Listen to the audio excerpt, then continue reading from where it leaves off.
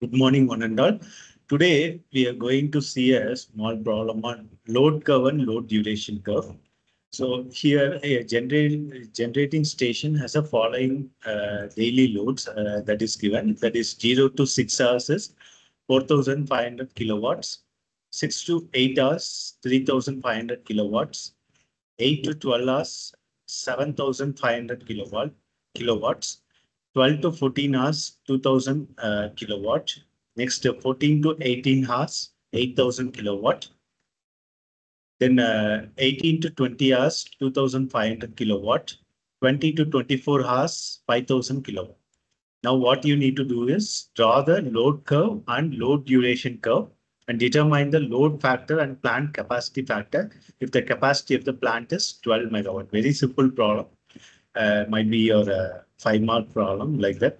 So first, uh, what they asked is to draw the load curve. So load curve, you know, so from the data easily you can uh, draw. So previously itself we solved uh, how to draw the load curve and load duration curve. So what is the difference between load curve and load duration curve that uh, we have seen in detail in our previous classes. So given that, so with that uh, basic data, first what we need to do is we need to draw this uh, two axis that is time in hours. So what, what I have taken is I have taken like 0, 2, 4, 6, 8, 10, 12, 14, 16, 18, 20, 22 up to 24. I have taken next to the maximum demand kilowatt I have taken as uh, 2000, 3000, 4000, 5000, 6000, 7000 and 8000. So you need to choose the scale um, with the problem data. So with the problem data, I have cho chosen like uh, uh, 1000, uh, 2000 like that. So here what we need to do is uh, uh, they have given like 0 to 6 hours. 0 to 6 hours is 4500 kilowatt. So 4500 kilowatt I'm starting. Next, uh, 6 to 8 hours, uh, 3500. So 3500 so 4,500 to 3,500.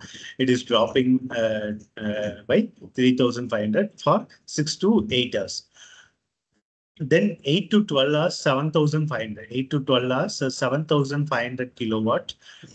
Um, then uh, 12 to 14 hours, 2000 kilowatt. 12 to 14 hours, 2000 kilowatt. Next, 14 to 18 hours, 8000 kilowatt. So 14 to, uh, to 80, 18 hours is 8000 kilowatt. It is again rising.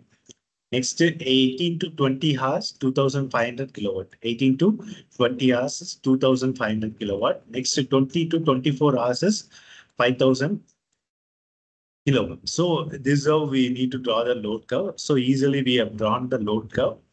And so what they asked is from this, uh, this itself, from the load curve itself, easily you can find out the maximum demand from the data uh, within the data or otherwise uh, uh after drawing this load curve. Uh, so from this load curve itself, you can easily find out uh, the maximum demand. So here from this load curve, the maximum demand is 8000 kilo. so now what you need to do is um, we need to determine the load factor, plant capacity factor, and, uh, and the capacity of the uh, plant is given. So for that, uh, uh so for finding out the unit generated, uh, uh, sorry, the load duration curve also you need to draw now. So load curve we draw and load duration curve. So for a load duration curve, so first you need to sort this load in uh, load in kilowatt in uh, like uh, from the um, descending order. So from the higher to lower. So from the higher to low, lower kilowatt, first you need to sort. So how I sorted is 8,000, 7,500, 5,000, 4,500, 3,500, 2,500 and 2,000 kilowatt. So here um, corresponding duration in hours also you need to write. Say for example 8,000 uh, kilowatt. 8,000 kilowatt is for 14 to 18 hours. So 14 to 18 hours is for 4 hours. So 4 hours. So duration is 4 hours. Next 7,500. 7,500 duration is, uh, is for 18 to 12 hours. 18 to 12 hours. Uh, again, it's for 4 hours. So here what you need to do is uh, mm, already 8,000 uh, kilowatt 4 hours is there. Again, uh, 7,500 uh, kilowatt, again 4 hours is there. So here 4 hours plus 4 hours. You need to add the duration. So it is eight here. So again, 5000 hours. So 5000 kilowatt, 5000 kilowatt for how many hours? Uh, 5000 kilowatt you need to check. Yeah. So 5 5000 kilowatt again it for four hours. So again, you, what you need to do is eight plus four. So it is 12 hours. So 12 hours duration is 12 hours. Next again 4500 again it for it's for um, six hours. So uh, 12 plus uh, six is 18 hours. So duration is 18 hours. So like that um, 3500 for again for two hours. So 20 hours. So um, 18 plus 2 is 20. Next again 2500 for again 2 hours. So 20 plus uh, 2 is 22. Next uh, 2000 kilowatt for again for 2 hours. So 22 plus 2 is 24. So first you need to draw this uh, you need to sort and uh, you need to mark the duration. Then easily the load duration curve is very, very easy. Just with the data easily you can plot. So 8000 for 4 hours. Uh, so you need to plot 8000 for 4 hours. So here in this um, uh, in this axis, it, it is duration in hours. So in this axis, it is load in kilowatt. So here it is duration in hours. Here it is in load in kilowatt. So here um, 8000 kilowatt um, for four hours. So 8000 kilowatt for four hours. So here uh, what I uh, taken is 0, 2, 4, 6, 8 uh, up to 24 I have taken. So um, here du duration in hours, here is load in kilowatt. So 8000 for four hours. So again, it is dropping to 7,500 kilowatt for again uh, up to eight hours, up to eight hours. Again, from 8 hours to uh, 12 hours, it is 5000 kilowatts. So again, it is dropping to 5000 kilowatt. Again, from 12 hours to 18 hours, it is 4500 kilowatt. From 18 hours to um, 20 hours, it is 3500 kilowatt. From 20 hours to 22 hours, it is 2500 kilowatt. From 22 to 24 hours, it is 2000 kilowatt. So uh, from uh, by this, uh, we have drawn the load duration curve. Load duration curve we have drawn. Next, uh, load factor. So what is load factor? Load factor is equal to the formula for finding out the load factor, average demand divided by maximum demand. So average demand, how to calculate? Uh, units generated divided by time in hours. So total unit generated, you need to calculate or energy generated that you need to calculate. So how um, already uh, we have discussed in our pre uh, previous class. So um, here what uh, we need to do is, uh, so that a particular uh, kilowatt into how, much how many how much duration. Say for example, the first one. Or otherwise here uh, here also you can do. So 8000 into 4 7500 into 4 like that also you can do. The same thing. So whatever given in the data we are taking so nothing wrong in that. If you take uh, this also same answer will come. So here you see uh, 4500 for uh, 6 hours. So 4500 uh, into uh, 6 okay so 4,500 into 6 plus 3,500 into 2.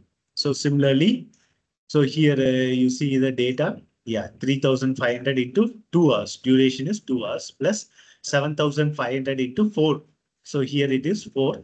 Next plus uh, 2,000 uh, into uh, 2. 2000 kilowatt into 2. Next here 8000 kilowatt into Again, uh, it is 4 hours uh, uh, because 14 to 18, uh, 4 hours. So 8000 into 4 plus. So again, 2500 into 2 hours. So duration is here 2 hours plus um, 5000 kilowatt into duration is 4 hours into 4. So this, uh, you need to add all these things and simplify, you'll get the uh, answer as uh, energy generated is uh, uh, 1 lakh 25,000 kilowatt hour um, 125 uh, triple zero kilowatt hour it is getting. So now we need to find out the average demand, average demand. So um, units generated divided by time in hours. So unit generated, this one, time in hours is 24 hours. So if you calculate, you'll get the answer as 5208.34 kilowatt is the, that is 5208.34 kilowatt is the average demand. Now we need to find out the maximum demand. So from the data itself, already we did from the load uh, curve, we found out the maximum demand as 8000 kilowatt. So here, uh, what we need to do is uh, we need to find out the load factor. Load factor is equal to average demand divided by maximum demand. Average demand we calculated divided by the maximum demand. So while calculating, you'll get the answer as uh, 0.6510. But the load factor always should be uh, in the percentage. So, so what we are doing is into 100, multiplying by 100 uh, so we, we are getting this answer in percentage. So load factor is equal to 65.104 percentage. Just tell in the comment whether you got the same answer or not. Similarly, plant capacity factor. Plant capacity factor is equal to total energy generated divided by capacity of the plant into number of operating hours capacity of the plant uh, is 12 megawatt already uh, it is given in the problem. So 12 megawatt we are converting into kilowatt so 12000 kilowatt. So here you are substituting. Total energy generated also already we calculated 125000 divided by the capacity of the plant 12000 into number of operating hours is 24 multiplying all these things uh, we'll get the answer as 0.4340 as I said, into 100. So uh, then only you'll get in percentage. So plant capacity factor, here we are getting that 43.40 percentage plant capacity factor. So these are the things uh, they asked, uh, plant capacity factor, they asked load factor, they asked. Next is uh, they asked to draw the uh, load uh, duration curve and as well as the load curve. This is for a 10 mark question. So simply a very simple uh, thing. But while doing this problem, uh, the calculation, the duration, while calculating the duration, at last you need to get 24 hours. So if you if you are getting 23 hours, if you are getting 22 hours, if you are getting 25 hours, so the problem is wrong because um, normally the duration they will give for uh, the whole day, 24 hours. So while doing itself, uh, the duration, if you add uh, at last you should get 24 then um, the uh, then the duration is correct. So easily you can plot the um, load duration curve also. That you need to remember while solving this kind of uh, problem. It is very easy. If it's asked in a 10 mark question. The thing is that uh, um, uh, the, that formula load factor formula you need to remember. Then plant capacity factor load factor um, is equal to average demand divided by maximum demand. So average demand that also you need to uh, this formula unit generated divided by time in hours. So uh, somebody uh, what they'll do is they'll uh, just uh, randomly solve without time in hours. They'll just uh, substitute with the unit generated. Then the answer will be coming up. So average demand is equal to unit generated. So whatever the unit generated that is in kilowatt hour then uh, uh, the average demand we have, have to calculate that divided by that um, time in hours. So 24 hours of the period we are calculating now. So the time in hours also we are calculating and similarly we are calculating and always remember like power factor should be in the sorry, load factor should be in the percentage and capacity factor also should be in the percentage. Simply you need to multiply with 100 so that you will get the uh, factors in percentage. Thank you.